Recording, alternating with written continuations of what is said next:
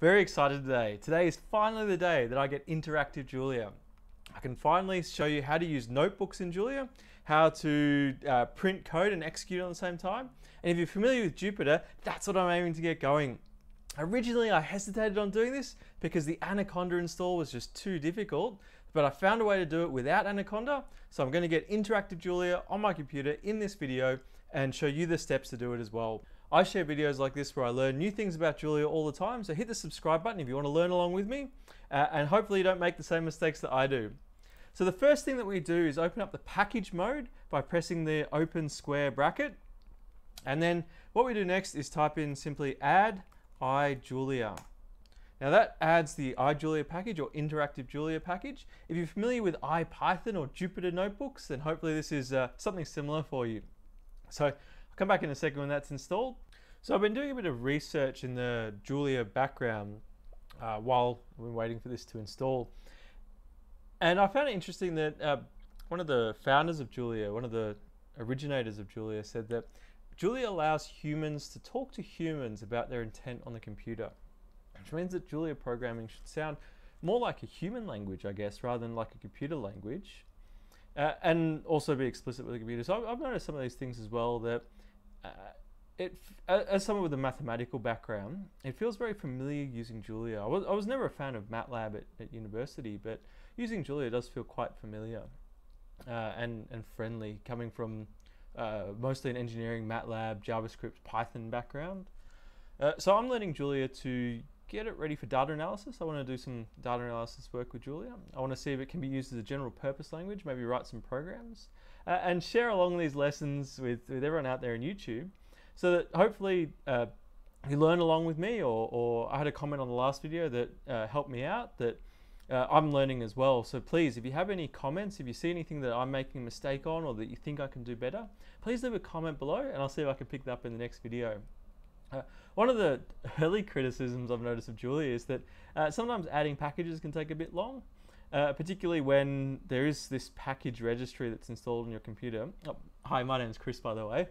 Uh, so, especially when there's this uh, registry already installed on your computer, it can take a while to, to download and install new packages. I've seen uh, whole programs be downloaded quicker than this. So, but that said, Julia is new and is growing. It's only been around for a few years, um, nine I think, which is quite young in terms of computer languages.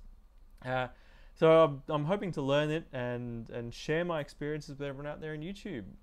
It looks like it's nearly finished. So I'll give you a brief overview of what we're going to do next. So after adding the IJulia package, we simply start the interactive notebook session and that'll allow us to uh, use Julia in a web browser, use the uh, interactive Julia in a web browser, which should allow us to put together uh, a notebook style uh, text and code all, all in one file. And then my other aim for this video is to save that and put it to uh, save and load those files so that you can use it, actually use it in, in work that you're doing with Julia. So uh, some, a lot of the things I'm trying to do with this channel are aimed at helping everyone produce things with Julia helping people produce things with Julia, because that's ultimately where I want to go. Uh, so if you check out my last video, I did um, uh, I used Julia as a tool to produce high DPI plots that are ready for use in journals and publications. So, but that aside, uh, it looks like Julia's finished installing the package there. So we'll exit package mode. Okay, and go back to the Julia prompt. And from this, okay, once we're back at the prompt, we simply type using IJulia, which will I guess it activates the package in the Julia prompt. Now, the first time you're on a package, like this is the first time I'm using the IJulia package, it will go through this pre-compiling process. This, this takes a while as well. I found it can be a bit slow again, yeah, getting packages up and running in Julia, but by doing this pre-compiling process, I believe it saves time later on, that Julia is then able to call the functions inside the package quite quickly once it's pre-compiled.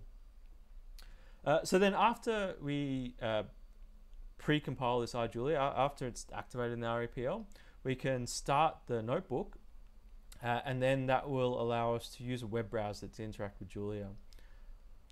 It looks like Julia's finished pre-compiling the IJulia package there. So the next thing to do is to type in notebook, press enter, and hopefully that should start the notebook. So it's been quite a few uh, install Ju- Jupyter by Conda. Yes, so the first time you run it, it's going to install. Uh, what running the notebook function like this does is set up its own uh, Jupyter installation inside Julia managed by the IJulia package. And so it does this via a package called Conda. So yes, we're going to install that.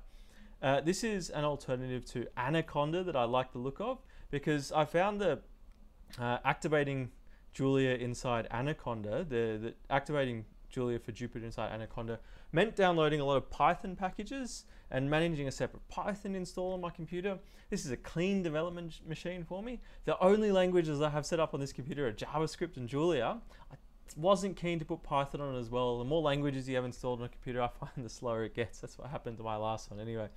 So this computer, I want to keep clean, simple, uh, and you might notice the video stutter every now and then as the computer's struggling to keep up with recording this and with uh, running some of the Julia packages. So what it's doing now is installing uh, Conda to manage uh, Jupyter. And I'll get back to you when it's done. It looks like it's installing a lot of dependent packages, packages that depend on on the uh, packages that my uh, IJulia depends on to run this uh, notebook. Uh, now, I believe it is installing a miniature Python install managed by IJulia. Now that's okay because at the end of the day, it's all contained within my Julia part of this computer. It's not uh, a separate Python install that I have to manage and then hook up Julia to. I found from what I've read and what I've researched, this seems to be quite an easy way to get Python uh, to get Julia going, uh, IJulia going on this computer. So I'm hoping that this provides a, uh, a, decent Jupyter experience that we can get something out of it. So what I want to do uh, in this video with Jupyter today is to uh, write a notebook, save a notebook, and hopefully print a notebook as well. I'm going to see if we can do the print too. Uh, if you notice the video cut off, you'll know that I didn't manage to get that printing done. Let me know down in the comments if you get any errors that come along while you do this. It seems to have been a smooth install for me so far, but I did have a bit of problems when I first installed Julia and it threw out quite a lot of errors at me. So uh, check out that video if you're interested in what those errors are. But if you get any in this process, please leave a comment below. I'll take a look at, see what I can do to help you out, see if there's anything I can contribute there, and hopefully fix those errors up with you. Okay, one thing that I missed there, uh, I flicked off to look at my web browser while I was while it was all installing in the background, and suddenly it redirects me to Julia. Uh, so what I've done is I actually use a different web browser for these. So I keep all my personal tabs open in Firefox, but I've been using uh, Internet Explorer Edge of all things to to look at uh, everything related to Julia. So what I've done is I've copied the address that it gave me. Yeah, you can see here localhost. Uh, yeah, I've copied the address that it gave me originally. So we've gone to uh, Jupyter. Ah, okay. What's going on here? So let's see. Uh, what are we What are we looking at? So are we back at the prompt? No, so I can't bring up a prompt at the moment, uh, but it looks like if no password is being configured, you need to open the notebook server with its login token in the URL or paste it above. This requirement will be lifted if you enable a password. The command Jupyter Notebook List will show you the URLs of running servers with their tokens, which you can copy and paste into your browser, for example, etc. Or you can just paste the token value into the password field on this page See the documentation on how to enable a password in place of token authentication if you like to involve, avoid dealing with random tokens. So it looks like there's some security thing there because it is, I believe it's because it is exposing a web browser, uh, a web server that you're then connecting to in your web browser. And I want to make sure that you're the person who's actually running Jupyter. So I'm okay using this uh, token system when it when it does finally come up. Uh, this is an interesting thing. It looks it looks like it's posted all of my environment variables here so you can see everything that's on my computer. My name's Chris uh, and you can see lots of interesting details about my computer here but uh, I don't know where my Julia prompt has gone so it won't give me this uh, token. Let's, what happens if I just click login? Invalid credentials. Okay, set up a password. Uh, so how do I type in this Jupyter notebook list? I'll do a bit of research and I'll get back to you. So after a lot of hunting, I found out the problem was that uh, Jupyter was being was sending a token to my web browser to allow me to log in. So without this password or token, but it only sent the token to the default browser on my computer when I ran Notebook. So in my case, that's uh, Firefox rather than Edge. So whichever browser Jupyter Julia, IJulia sends a token to is the browser you should be using. I haven't figured out how to change the password yet. It seems to be quite complicated and involved beyond the scope of this video. Let me know in the comments if you'd like the links to the description as I found on, on why this happens, on what these tokens mean, or if you want to know how to change that password or how to disable security altogether. Uh, I did a bit of research and got some links for that. So leave a comment below and I'll, I'll send you those links. Uh, so I've got Jupyter up here running now. What I might do is go back and show you one little trick uh, back in the REPL first. I'll show you one little trick here that Julia uh, isn't usable while you've got the Jupyter Notebook running unless you say to it detached equals true. Now hopefully that means that yes, our Julia prompt comes back so we can do a equals 1, our answer is there.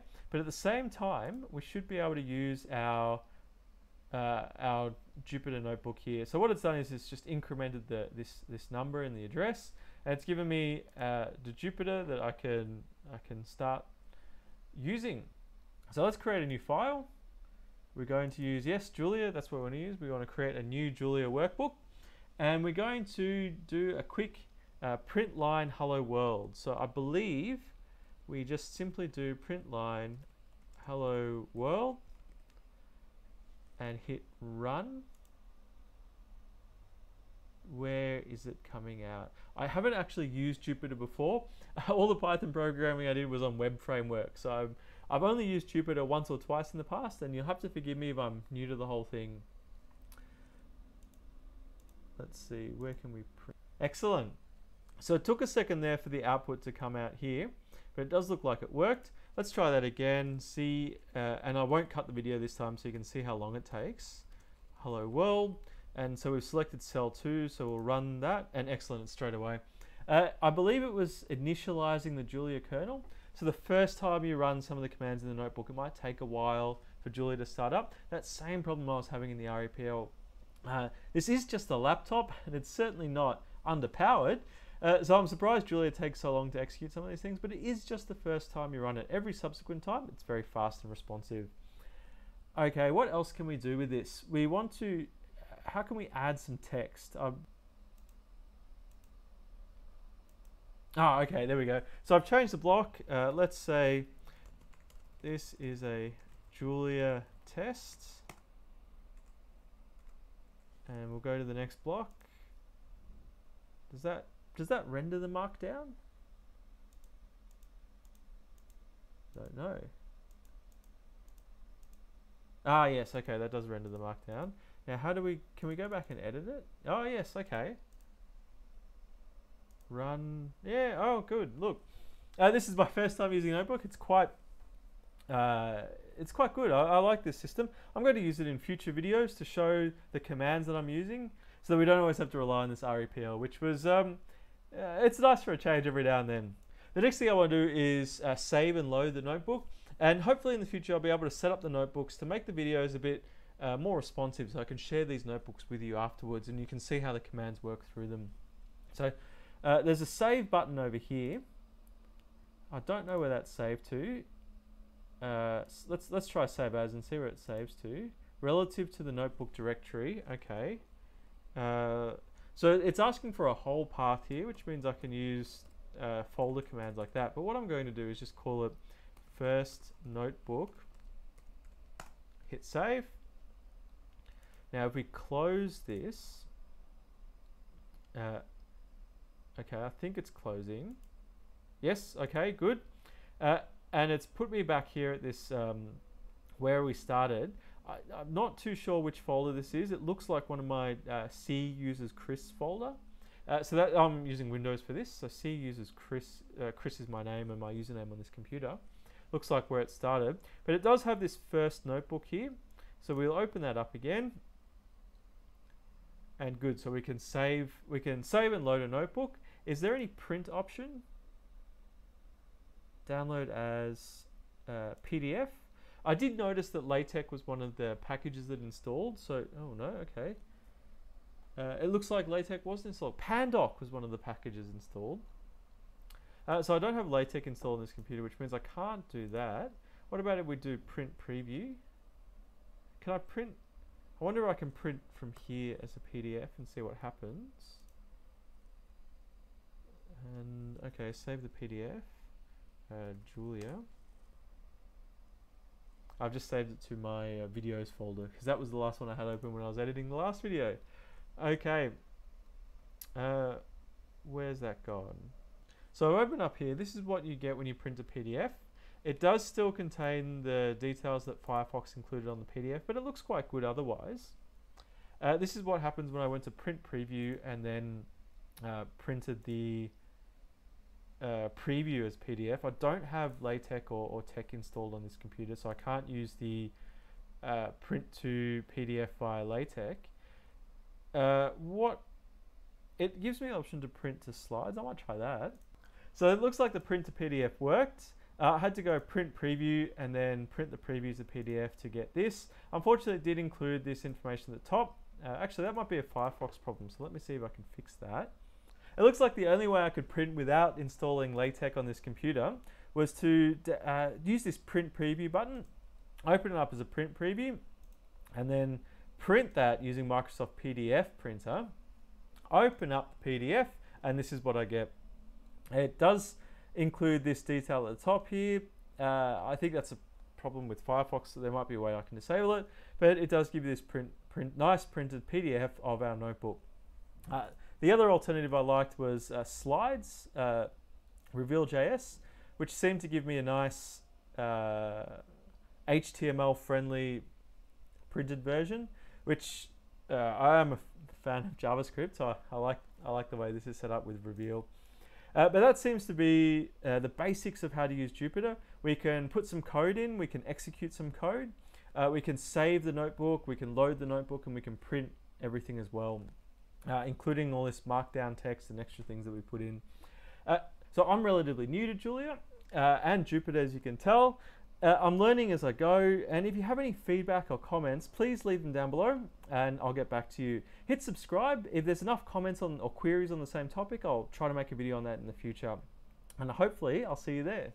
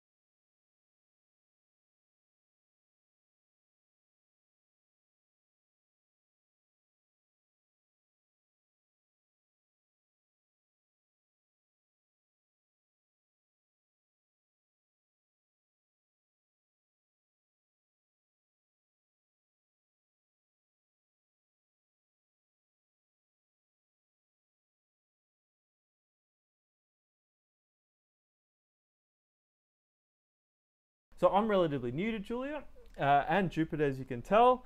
Uh, I'm learning as I go, and if you have any feedback or comments, please leave them down below and I'll get back to you. Hit subscribe. If there's enough comments on or queries on the same topic, I'll try to make a video on that in the future.